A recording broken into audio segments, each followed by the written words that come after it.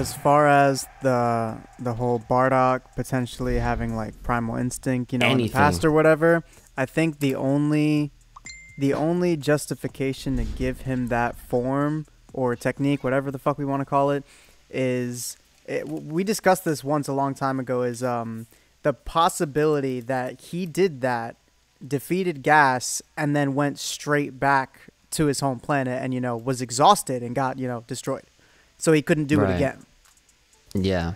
But that that like- would literally be the Right, only right. explanation. Even then, that's still like I don't. I don't like it that much. Yeah, That's it is. reaching. It, it's gonna piss a lot of people off, dude. It's gonna. Yeah. You know, Yeah. I, I just, I can just tell people are gonna be like, Toyotaro ruined the lore, and I can just tell. You know what I mean? Nah, if he does it, man, he he's just not allowed to remember that he did it. Like Yeah. That- That could that's work. the- that that's the only way because because him going back to Frieza and getting death balled to death, like it, like that doesn't make Death sense. Especially to if he death. know, e- especially if he knows fucking like how he got the form or whatever. Even if he was exhausted, like you would know, think he would are- be able to tap into it again or something. Exactly, know. because when Yeah. Saiyans, he, you see, when when Saiyans are pushed to their limit, they can access that. in type emergency. Well, and that's the other that's the other thing, right? It's like they're retconning so much. What if that is retcon? What if that is something that like we they just didn't show us, but that's what happened. Like, and this is another ass pull of a theory where it's like, did Bardock die? Is he is he Stop. dead? Or is he amongst us somewhere else? And no, but that's one of the crazy thoughts that if like if thi- if this is to believe that this guy got a form that inevitably Broly, Goku, and probably Vegeta are, are gonna end up getting, if he did it all those years ago, and then to just to to to to rectify or justify the whole like, okay, well then how did he die during the whole planet dying? Well, did he? We didn't see a body. We just saw the planet just disappear. So who knows? They like like that's what I'm saying. Like they could just do anything. Will does it make sense right now? No, because no one's It's gonna get expecting. it. crapped on, man. You know that. I mean, Yeah. he got he he got incinerated. The only argument, the only hypothesis or whatever, is if somebody instant transmissioned him somewhere else they, they could do before that. before the before the ball like literally Yeah. incinerated him and, And- and, and- everything else. And that's what they did in the video game world. Because if, if you really look at it, Bardock has four different canons. There's four canons for Bardock. Yeah, man, this guy's OD. episode of Bardock. There's Mira taking his body and turning him into a Timebreaker Bardock.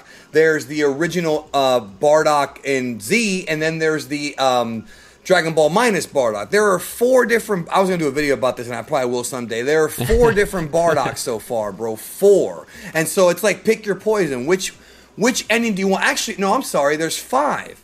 Yeah, cause super. Oh no. I mentioned. I'm sorry. No, I mentioned the episode of Bardock. I'm sorry. Yeah, when he goes back in time, so Frieza's blast somehow it's never explained Yeah, sent him yeah. back in time to fight Chilled, which it's a cool little side story. But I feel like if it it's not part of the main continuity, and if it becomes part of it, it's going to be a problem. I actually do like Chilled, but having Bardock live and be the first Super Saiyan, I don't like that idea at all, bro. it's Yeah, yeah. Yamoshi, dog. It's Yamoshi. Yes, Yamoshi. We've talked don't about too.